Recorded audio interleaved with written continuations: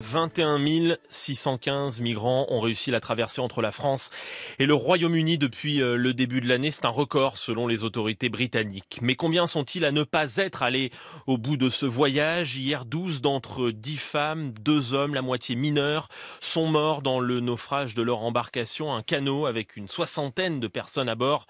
Ce canot s'est disloqué au large du cap Griné, au large de Vimereux, à quelques kilomètres au nord de Boulogne-sur-Mer. Il s'agit du pire naufrage depuis le début de l'année, ce qui fait de l'année 2024 l'année euh, la plus meurtrière depuis euh, le début de, ces traversées de migrants. Pour en parler avec nous euh, ici en studio, Mathieu Tardis, bonjour. Bonjour. Vous êtes co-directeur de Synergie Migration, c'est un centre de recherche sur les questions d'asile, d'immigration et d'inclusion. Et puis nous sommes en ligne avec Dany Patou, bonjour. Bonjour. Vous êtes la présidente de l'association Osmose 62 qui vient en aide aux migrants dans le Boulonnais et dans le Montreuillois et vous étiez euh, sur place hier après l'annonce de euh, ce naufrage. Je voudrais avant vous donner la parole ainsi qu'aux auditeurs de France Inter qui peuvent nous appeler 01 45 24 7000 ou témoigner, poser leurs questions euh, via franceinter.fr. D'abord donner la parole à l'un de ceux qui est intervenu hier pour sauver ces migrants en train de se noyer c'est un pêcheur de la région, un pêcheur qui est toujours sous le choc. D'ailleurs, il a été euh, rencontré ce matin par notre envoyé spécial sur place, William Delesseux. Ce pêcheur s'appelle Gaëtan Baillet et il livre le récit de ce sauvetage. Il a récupéré à bord de son bateau notamment des cadavres. Le Zodiac était en train de couler. Et après des gilets, en avait 5-6. Pas plus.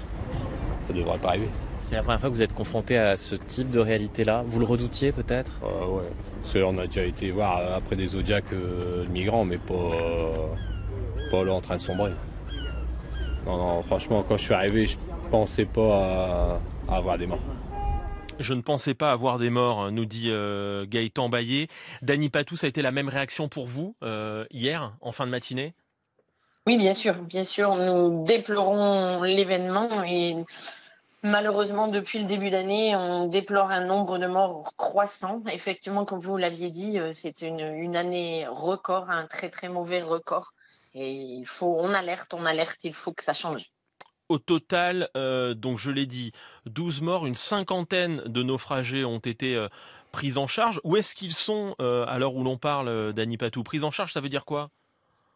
Euh, nous n'avons, nous, association, aucune information sur ce genre de, choses. Nous sommes tenus à l'écart des, des, du contexte officiel et nous n'avons pas d'informations. Ce sont les autorités qui les prennent en charge euh, dans ces cas-là, on est bien d'accord quand il y a un naufrage avec décès, oui. Sinon, euh, on déplore aussi qu'il ne soit pas pris en charge d'habitude.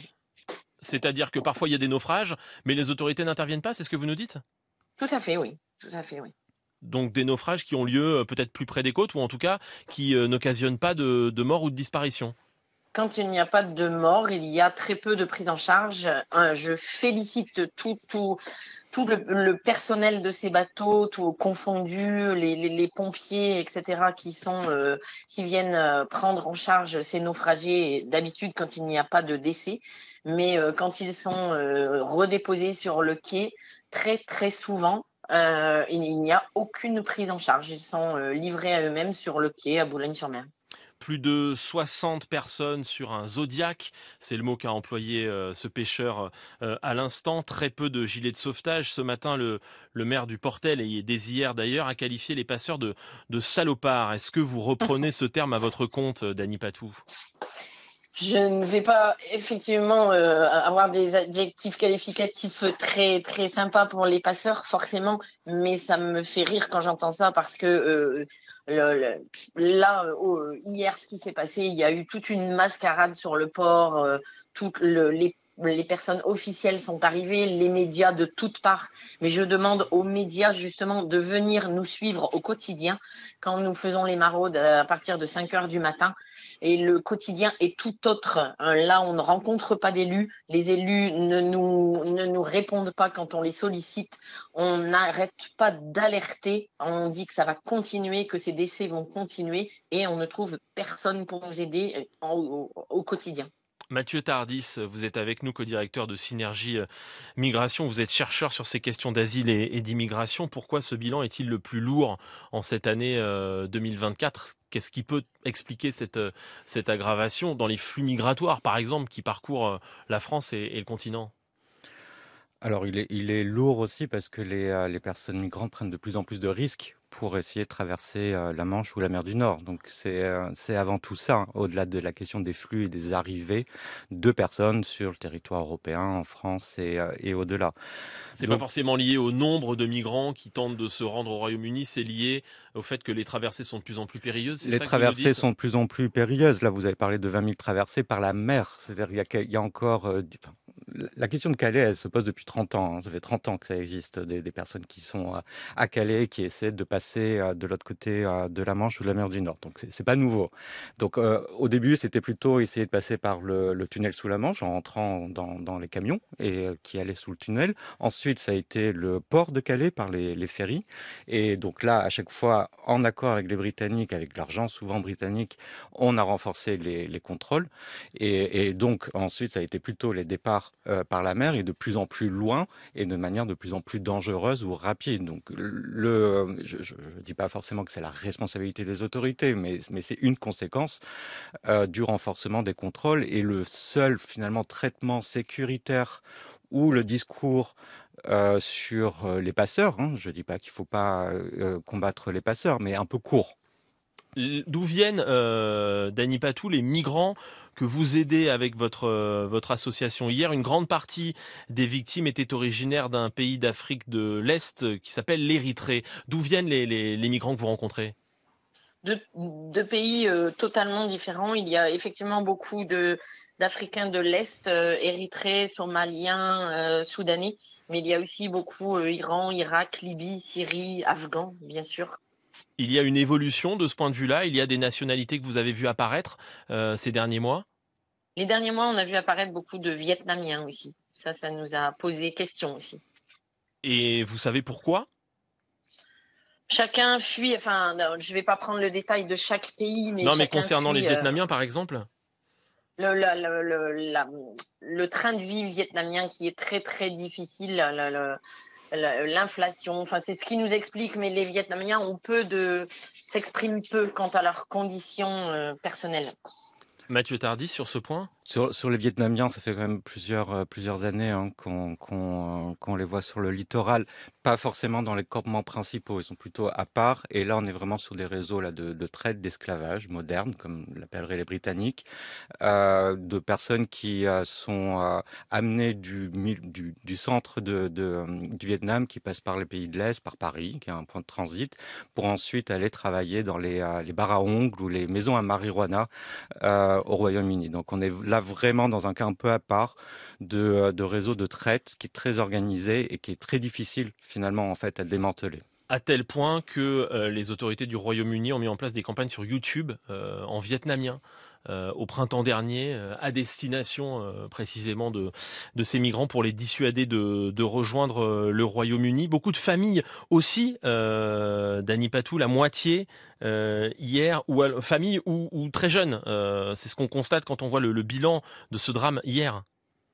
Oui, bien sûr. Il euh, faut jamais oublier, là on parle de chiffres, on fait des statistiques, mais il faut jamais oublier que derrière tout ça, il y a des vies humaines. Il y a des familles dans tous les différents pays qui attendent des nouvelles de leurs fils, de leurs frères, de peut-être leur mari.